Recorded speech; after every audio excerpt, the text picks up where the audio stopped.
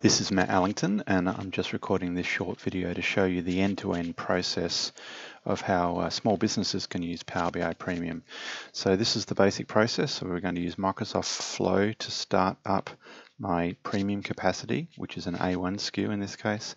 Once the capacity is started, we're going to assign um, one of my workspaces to that premium capacity and then I'll demonstrate it working. So first of all, here we are, there's Power BI. This is my workspace and let me just jump into this workspace and we'll have a look at the users. And I've got a few people here and I'm going to Add that. So now my test user has access to this site. Now I've got my test user set up on a guest browser. So this is um, a guest browser, so there's no other tokens or anything. I've logged in as my guest user. And if I come here and try to access the SharePoint test, you'll say it says try for free. So this is confirmation that I don't have a pro account on this test user.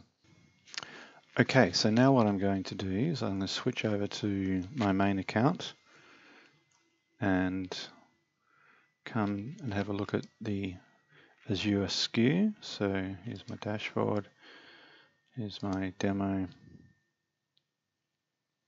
and you can see that it's currently paused and you saw before that there is no premium capacity here. Come over to my flow, I'm going to run my flow. Let's have a look at it running.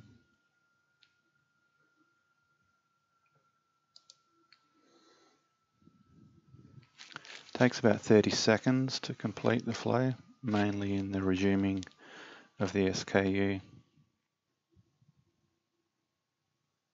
Okay, all done. We'll go back to here and just do a refresh.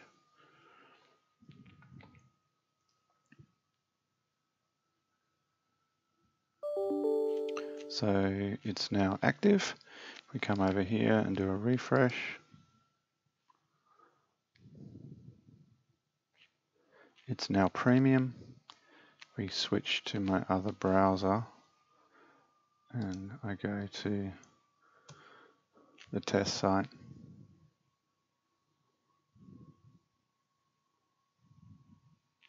This is my test user with no pro account and it's working.